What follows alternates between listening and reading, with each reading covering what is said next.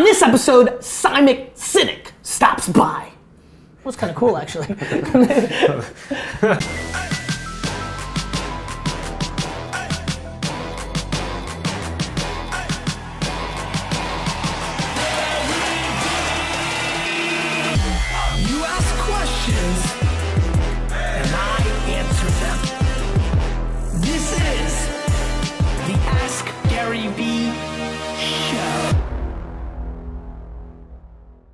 everybody, this is Gary Vaynerchuk, and this is episode 226 of the Ask Gary Vee Show.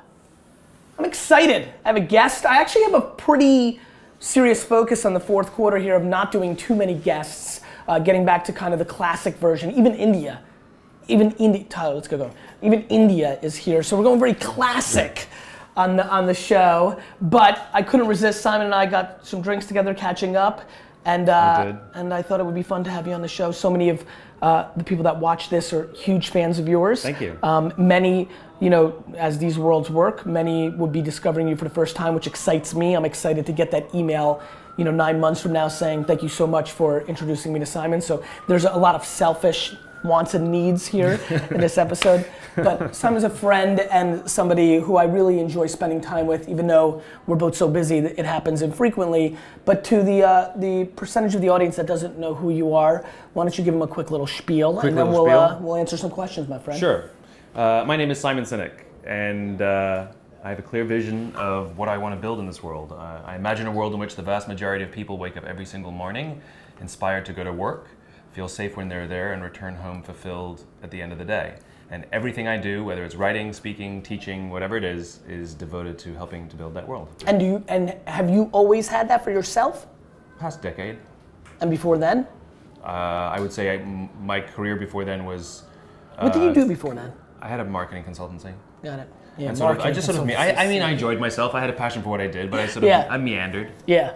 I, I would say that, you know, my, I think my goals and my visions were very much uh, about me and about the business. I want to build this kind of business. I want to make this kind of money. Yep. And that hasn't been for the past decade. And and so me knowing a little bit more and adding a little more color for the group, you, Mm-hmm. you speak, you've written books, uh, you had a breakout speech at, at one of the at the highest of levels.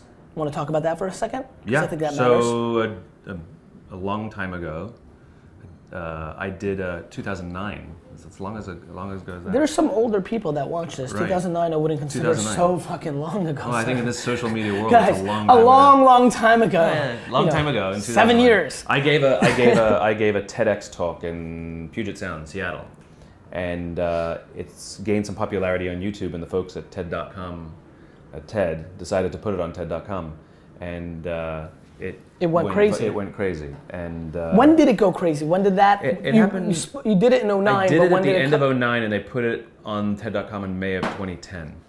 Yeah, it, it seems. I mean, like it just seems like a lot of people have. How many views did that get? Last time I checked, it's about 27 or 28 million. Yeah, monster. Andy, what are you, you're slacking over there. I don't. I don't have any 28 millions. And so, and But so. I, look, I won. I won the internet lottery. I mean, you know. It, Well, I, got, I mean, there was- I got, I got you- lucky. It was. I got lucky. And for one more time, for the the people that are learning about you, what real quick on what was the general thesis of that? So I shared. Um, I shared as a talk on a theory that I uh, continue to espouse that I. Um, based on an idea I called the golden circle. Uh, basically, every single organization on the planet, every single one of us knows what we do, the things we sell, the services we offer. Some of us know how we do it. It's the uh, the things that we think make us stand out or differentiate us from the the world outside. But very very few of us can clearly articulate why we do what we do. Um, and if you look at the greatest leaders, everybody from Martin Luther King to Steve Jobs, those with the capacity to inspire action in those around them, every single one of them, regardless of their of their industry, uh, thinks, acts, and communicates starting with why. Yep. Most of us talk about what we do, and then we try and tell people how we're better. But these guys talk about their vision, they talk about their cause, they talk about where they're going, and what they do simply serves as the tangible proof of what they believe.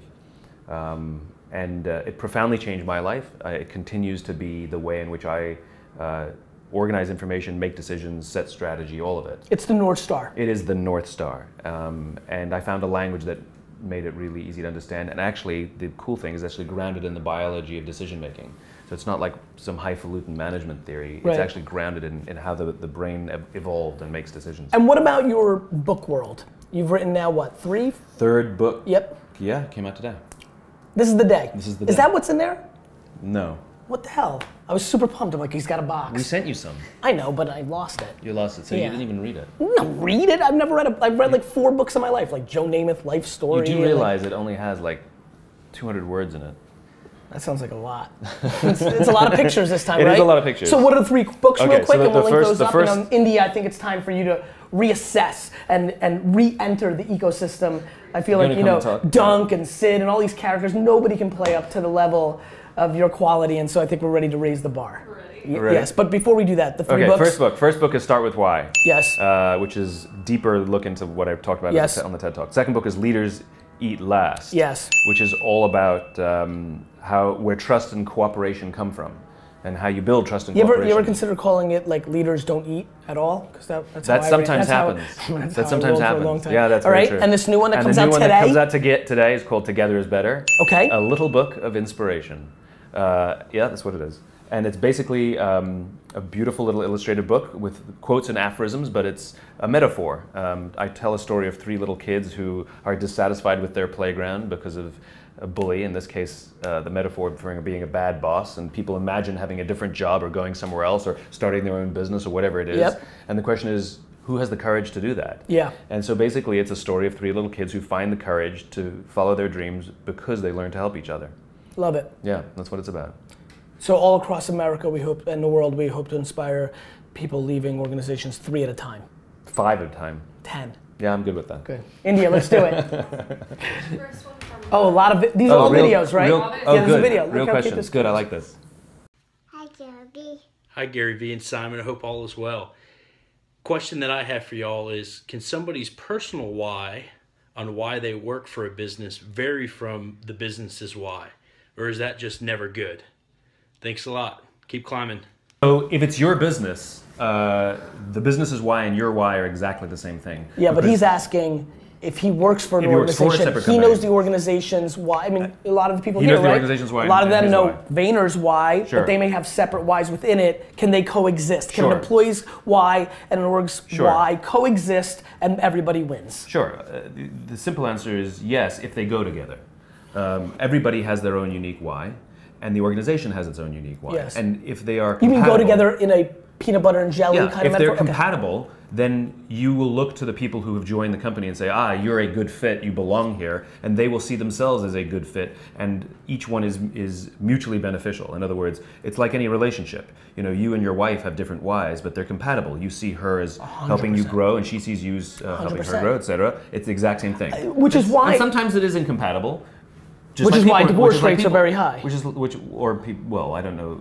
It's sometimes incompatible. That's a decision-making problem. Okay. Um, but But it's, an, it's also an evolution problem, right? Like, if you think about it, one's whys can be really aligned with the organizations today, and five years from now, they may not. No, absolutely not. Not if both organ. No, not One more time, you, you're saying no to that? No to that. So you're saying that there's a Here, let me tell frozen. you why. no, me hold on. you why. Let me Before you you do. I want to give you more framework yeah, because yeah. I'm fascinated by Okay. your decision to say that. You're saying that things are frozen, frozen, and that one's context of how the world of for example that it's so frozen both Yeah. north stars that one who's an employee who's rolling quite along and has a Sure. why but then child dies from cancer along Yeah. the way isn't reframed into the context of where maybe it's not aligned anymore No. The, Okay. it's, uh, the word I wouldn't use frozen. Okay. Uh, you're saying that there can be no growth when you use the word frozen. Okay. Your why is fully formed by the time you're in your probably late teens, and the rest of your life is simply an opportunity to live in balance with your why or not. So the decisions you make, and so what you're whether somebody's living. That's why I said before, which is as long as both organiza- both organization and person are working hard to remain in, in consistent with with their cause.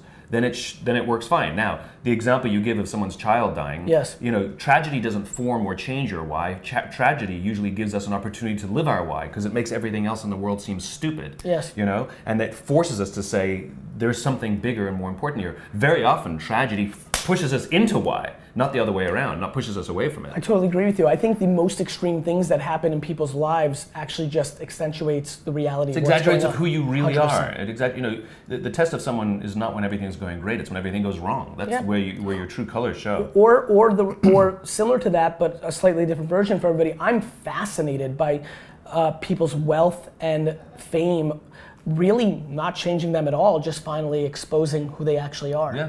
And Yeah. that, that's not a and tragedy. that's a hard usually, in thing. theory, a good thing. That's a but, hard thing. But it's a real thing. Absolutely. All right.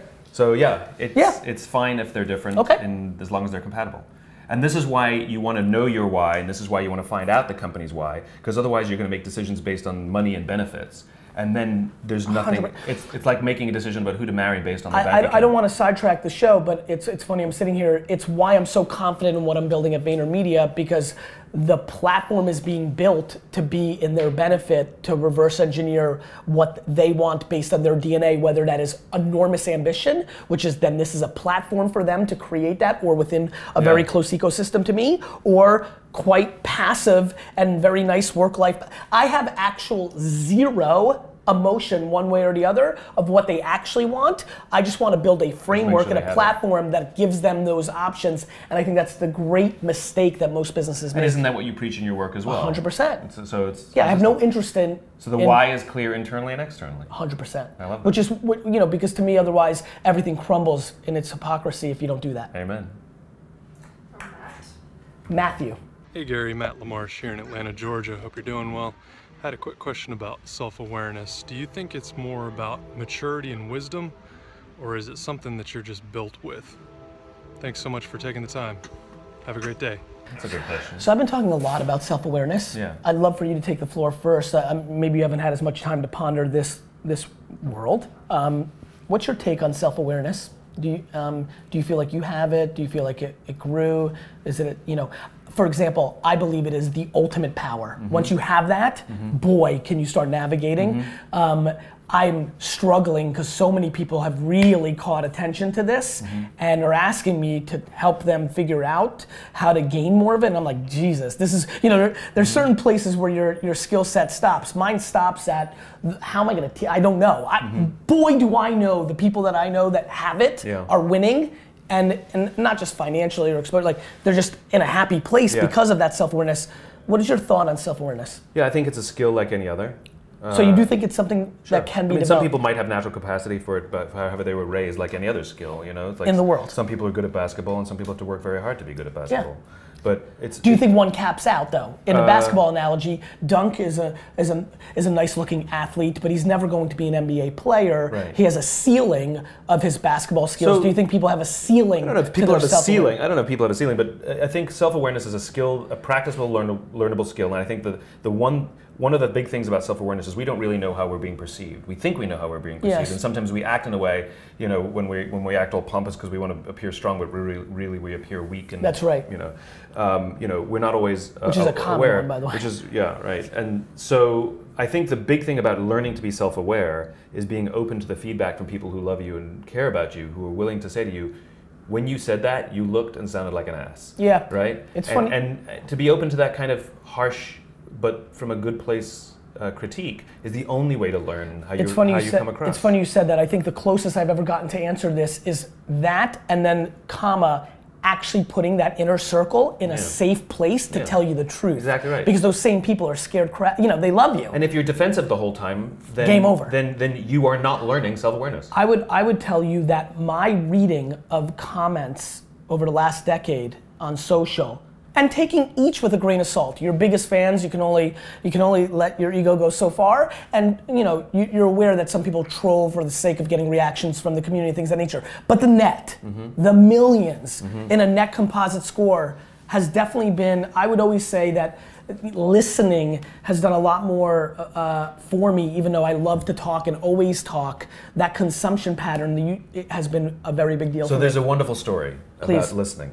Okay. The problem when people say you need to be a better listener is we are human beings and we need to communicate, and communication is two ways: listening and speaking.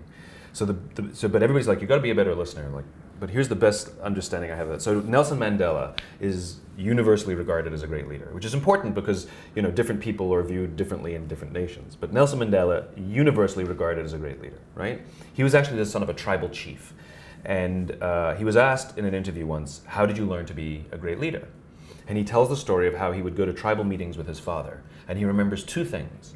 They always sat in a circle, and his father was always the last to speak.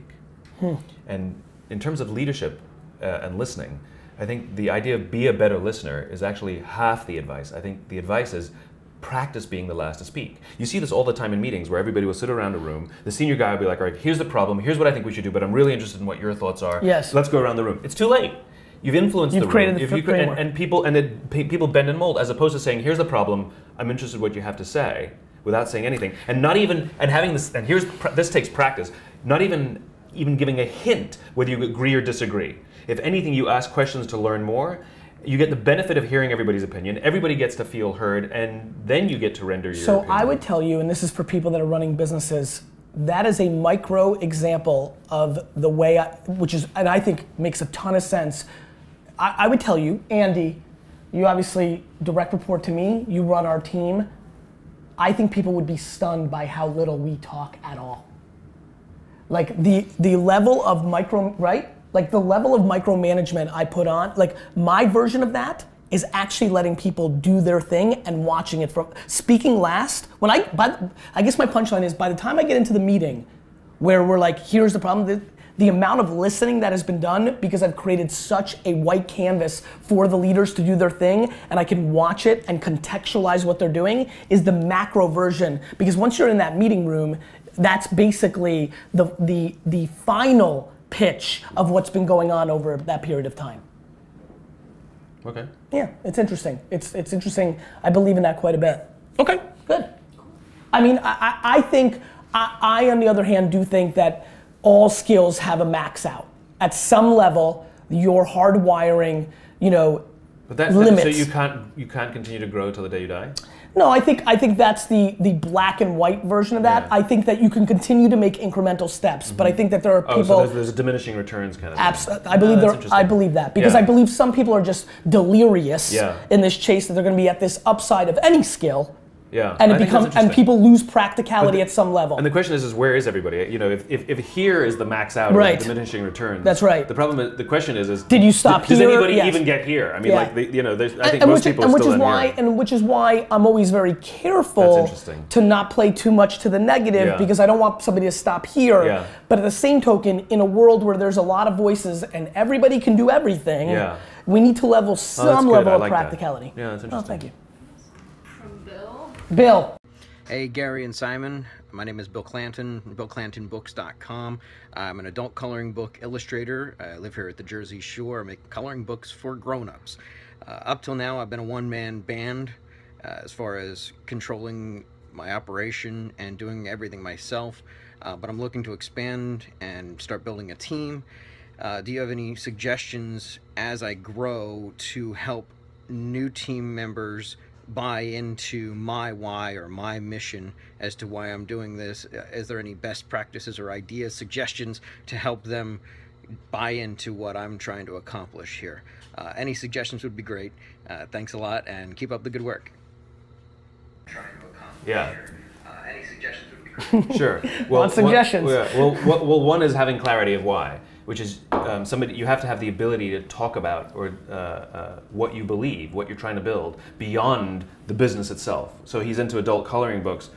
What specifically? Which puts him, by the way, which puts him in a good spot to begin with, right? I mean, if you just think about that in thesis, Yeah. there's a lot of like smiling that comes along with that. There's like a lot of If- if- positive if, vibes. If, that's why he went into it, it could have been for some Zen calm thing or some or some weird thing. Maybe he's a really bad guy and he's know, trying to, so- he's mad at children. So I think I don't think so. so. So, but but even beyond the coloring books, like what what is it that he imagines? You know, the ability to talk about uh, his vision, and if he can't talk about his why in hard terms, can he tell stories of his own experiences or people he admires? That if somebody hears enough of those stories, they can kind of get a sense of who he is. Um, what you'll find is that that um, the better you are at communicating your why, um, people will want to work for you. Uh, regardless of the opportunity that you afford them like they want to be a part of it Yeah. um, we do a little thing which we've been doing for years and years and years called a give and take. Whenever there's any kind of relationship, whether it's a, a, a, an outside partnership or even uh uh somebody who joins our team, we do something called a give and take, where we want somebody to be selfish and selfless within the relationship. So not give and get, but give and take. So we'll ask them, what is it that you have to give to us that you have that you, you think that we need, right? And they'll tell us. And then we'll say, great, what is it that you selfishly want from us? And we want them to tell us what they can get from us and no I one believe in else. that so much, And when those when those things match, you have a balanced relationship. Because so, for example, I'll, I've had it with people. uh, You know, they'll tell me what they what they have to offer, and that's awesome because that's what I want.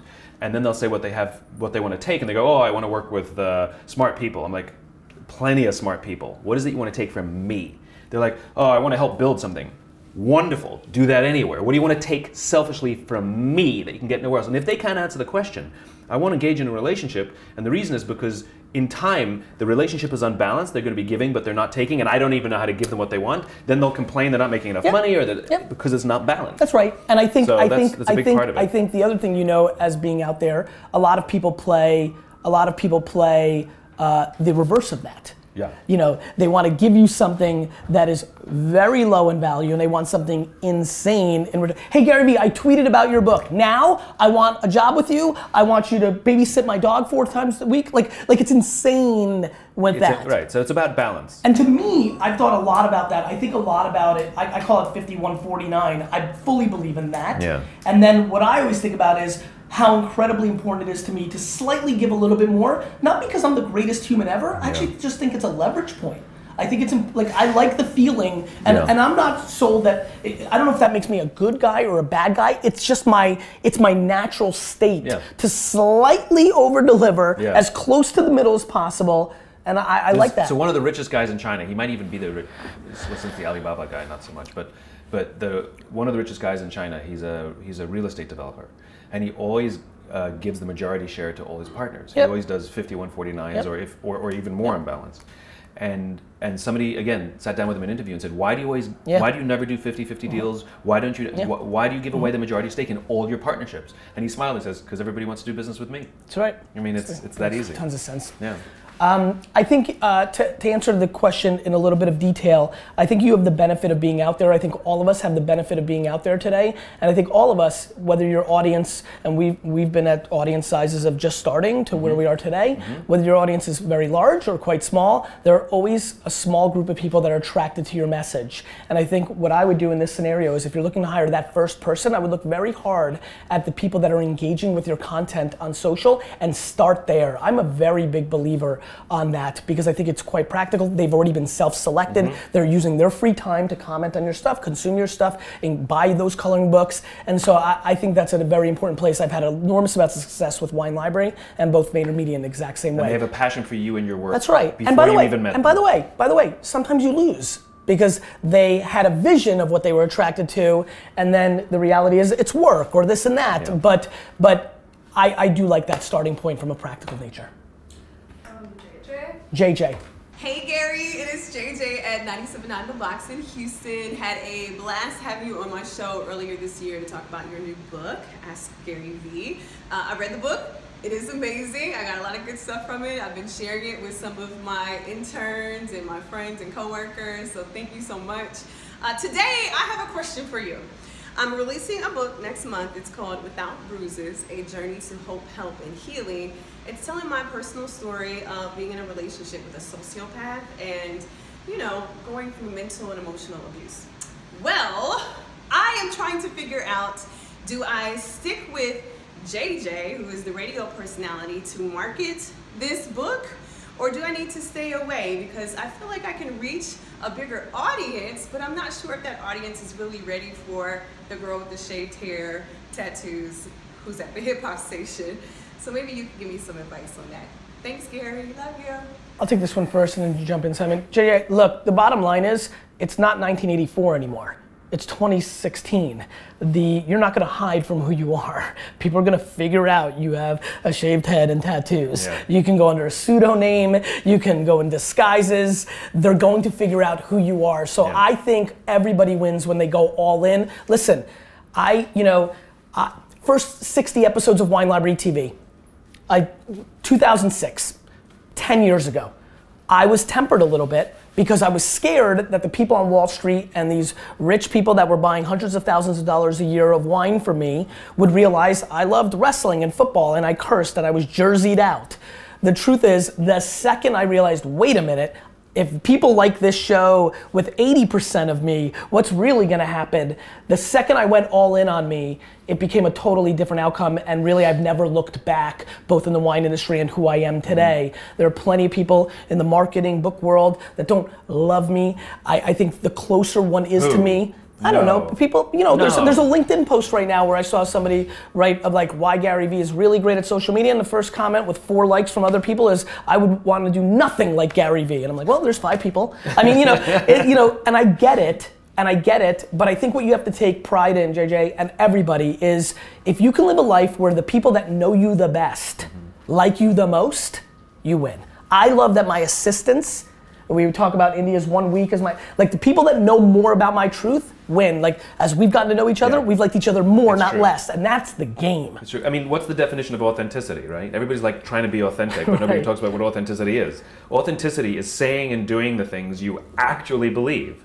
And so to create divisions, one of them is inherently inauthentic. So in one of them, you're either being dishonest or you're faking it. So uh, Or you're hedging, or you're right? hedging, right? Hedging. So Hedging is what So pisses I mean, me you off. are who you are, and you want to bring that personality. And at the end of the day, the more authentic uh, you are in all of your work, the more that people who love you for who you are will take your work and will help spread it for you. Um, those are champions. Um, but it's very hard to even uh, find champions if you're always hedging and trying to be what somebody else wants you to be. JJ, I think you've got a misread on America. I really do. People I- like you for you, and they like you for your 100%. message. And especially if you're you. For example, Ne- neither of us, neither of us fits the role that we expect. I mean, I show up to these meetings in jeans and things, and, and Gary, you know, he, he's he's curses and he shows these things. But but people like us for who we are, and the people who don't like us for who we are don't invite us, and that's totally fine. I also think that you've got to understand the American psyche, right? They're not going to care as much about tattoos and shaved heads and things of that nature. America forgives everything except if you're trying to deceive them. Like you can literally do anything in this country, probably outside of murder, and get away with it, as long as you don't try to pull one over on us, right? The presidents have proved that. The most famous people have proved that. We will forgive all day, but if you try to make us a sucker because you're trying to put one over on us, Yeah. we hate that. That's it. Yeah, be Is that it? yourself. One more? Be Let's do it. Yeah. And it's hard to be yourself. It takes practice. It's like the self-awareness thing, right? Uh huh. Let's do it. From Africa. Going to Africa. I love it. Hi Gary, my name is Benja Bimbola from Nigeria, West Africa. It's 2:16 a.m. in the morning here, and I'm grinding. I hope this gets in. Uh, my question is short and simple to you and Simon. When do you know you have the chops as a young person to start talking? When you have the results to back it, but you're not an all-time great yet. Do you start talking or do you document? Thank you. I, I think you start talking. Uh, it's the whole thing is a process. Though you start talking immediately. I mean, it takes a long time to become an overnight success, right? And uh, um, I think for the both of us and everybody we know that we admire and who's achieved anything, they've been at this a long time and they've Work. been talking at it. And by the way, they weren't great at the beginning. They t- took go watch Speak for go yourself. watch early go watch early interviews of Steve Jobs. Right? Early interviews of Steve Jobs are fantastic. He's terrible. And he, he actually, in one of them, says, I, I need to go throw up because he's so nervous about talking on camera. He's, he's terrible. And the point is, is he practices and he practices and he practices, he gets better, but he does it out loud. And I think the idea of hiding until it's perfect, it's, it's a fool's game. I think you put yourself out there, you, you, you start, you practice, you practice out loud, then you get feedback, and you can you can you grow. I You mean, that's what it counterpunch. You adjust. yeah, you put it out there. I, I, I would say the one thing that you may be referring to that I talk about a lot is it's tough to come out the gate at 22 and say this is the definitive thing. Here's my advice. Be- I think I think talking to the world about your truth. but what you believe Correct is Yes, the game. is the game. I think what we're seeing on the internet right now, like I'm a set- 22 year old. I'm a, I'm a business coach guru, and yeah. I'm going to teach you and the only business I have is you're going to pay me 20k Yeah. and I'm going to teach you how to charge other people down the ladder 20k to give you advice. That's the bad stuff. So, you know, your point of view on the world Yeah. and like what you believe and where you come from, that's gold. Your process. That's why I talk a lot about documenting instead of creating. It's just your truth. Yeah. Um, but I agree with you. I mean, there, there's no substitute for doing. All, the amount of people that wait for the perfect thing Yeah. and then never do anything. You know the most beautiful thing when you're young and you think you have something to contribute is to admit that you don't know everything, admit that you're you're learning. Yes. If you say I'm a 22 year old expert and I can help you do X, Y, and Z, you actually it's not true. You have I mean, there's so much more to learn, and everybody knows that. Um, if Ev- you- everybody who is the kind of people that you want. everybody- The people that are attracted to that are going to do very little for you besides some short-term dollars. Agreed. And if you say, look, I'm in this business, I'm fascinated by it, I'm growing fast, I'm learning fast, I'm still a student of this stuff, but I have this service to offer, that humility is unbelievably attractive, and people want to be a part of that because they know you're showing up to learn, not to. Sh- in, Simon, I don't know if you're paying attention to this, but in reverse, what's happening is people are renting expensive things, showing a bullshit lifestyle on Instagram, like, you know, going to like, they're asking their dad to take $25,000 out in cash from the bank, putting it on a bed, taking a picture, then putting it back in the bed, like, just complete and utter fraud. And it pisses me off. That's insane. Yeah, and, and, and, by the way, like, it's just, it's just a non-winning game. And you only attract people who want The that, worst. that's not even who you are. The worst, the worst. Anyway, Simon, Probably lying, isn't it? Question of the day. Every guest gets to ask the question of the day. You get to ask them a question. You'll get hundreds of uh, data points back Okay. in return that you can adjust to, Okay. uh, both on Facebook and uh, YouTube. So, uh, what would you like to ask the Vayner Nation? What is on your mind? What would you like to get a good solid survey in return from? Um, I want to know if uh, whether you have your own business or work for a bigger company. I want to know: uh, Do you feel loved and supported by the people around you? Do you feel that the cultures in which you work or the culture in which you're building are ones of cooperation and of trust, or do you feel like you have to keep your guard up the whole time? You can't really trust anybody, and you definitely can't trust your boss. I want to know that. And if you are feeling supported and loved, tag that person. I think we are just not deploying enough positivity. Agreed. And I think if somebody's doing that amazing thing for you, they would feel very nice when this shows up in their notifications and realize they're doing that for you. Yeah. Thanks very much. Yeah. Yeah. Love you, pal. Wonderful. Thanks a lot. You keep asking questions, we'll keep answering them.